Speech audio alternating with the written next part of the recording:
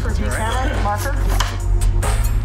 For me, Animal Kingdom is about a working class crime family in which these men are still under the uh, control of their mother. She has a kind of emotionally incestuous hold over them. They crave her affection and attention. They're also a little bit repelled by it. When we enter this scene, Pope has basically gotten Jay out of the shower and said, Hey, you and I are going to go steal a car. And unfortunately, things don't go as planned, and Pope has to uh, beat up the driver before Jay takes the car. Now they're coming home where Smurf is waiting for them. And what proceeds to happen is a very dark, loaded, psychological look at Pope and Smurf's relationship. Scene 56. Interior, Cody house, kitchen, night. Smurf is brewing a cup of tea as Pope and Jay come in. Smurf sees Jay's face, turns to Pope unhappily.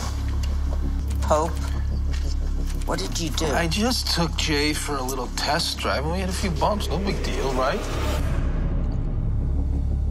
will not do that again. Not without asking me. What am I, six? You Will not do that again.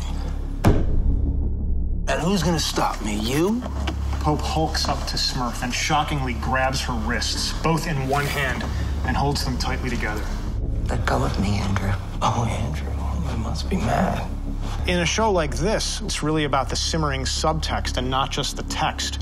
He's saying a lot. He's saying, I still control you, and I don't trust this kid who's now coming into our family, and I want you to know that I can make him go away at any time. And then Jay steps in and shows that he's actually not spineless. What if I tickle you? Leave her alone. It's okay, Jay. Pope lets go and corners Jay near the drying rack.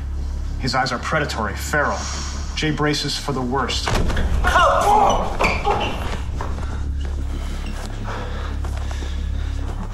Yes. Yes. Jay shakes his head, backs away. He bangs out the screen door into the yard. Off Smurf. Excellent. Good, good. Yeah. Nice work.